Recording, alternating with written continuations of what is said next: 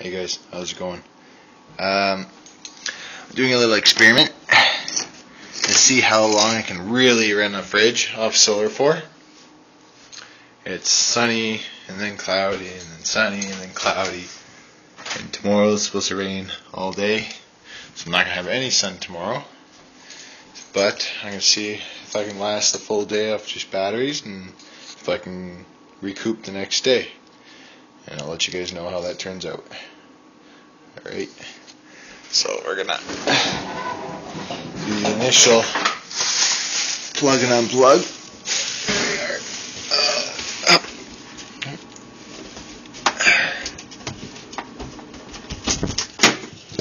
Alright, fridge is unplugged.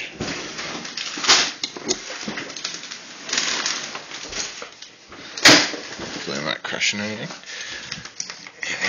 about to plug it into solar. Ooh. Well, I guess the the fridge was running. I unplugged it. It was the middle of a cycle. Did not want to start. Now I'm gonna have to go restart my uh, my inverter. So I guess I have to go do that soon. Anyway, so this is my power cord, which I gotta actually bring down to the basement more.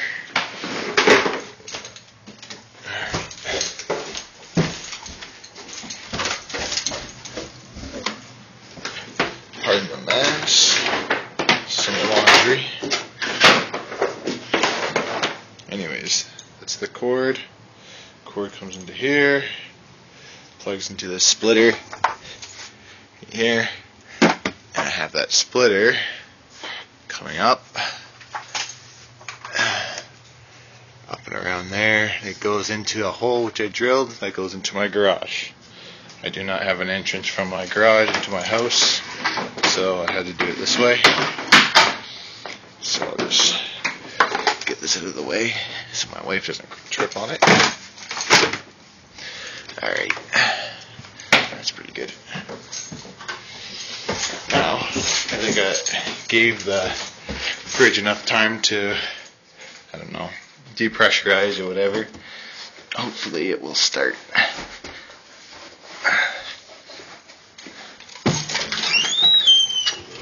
Pardon the shaky camera. Ooh, still sending a warning in here. Look at that. That could be annoying. Overload protection. Okay, let's try this again.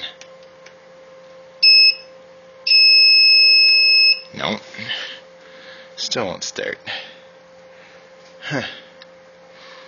Let's wait a bit more and see what happens.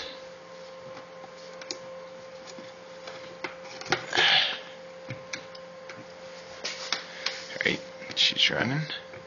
Let's see.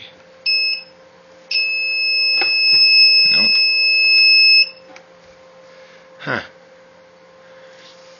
Oh, while it's doing this, let's try my really crappy uh, multimeter.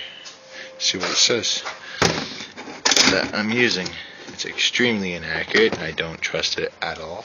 But here, I'm gonna see what this thing draws for a split second, see if it shows.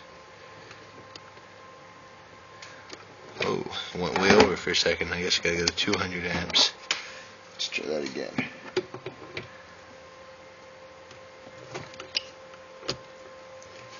Huh. Seems to be running it this time. We got 118 volts, 160 watts, 2.3 amps, uh, power factor of 63. Okay. So it looks pretty good here. Holding a good voltage. Once it finally, uh, uh, the pressure in the fridge, uh, I guess, went down, started up no problem. So I'll keep you guys posted. Right now my batteries are at 12.8. They were at 13 a second ago to up with the load on the system. We are still charging a little bit from the sun. We got uh, 9 amps coming in from the sun. A little bit sunny still, not very sunny.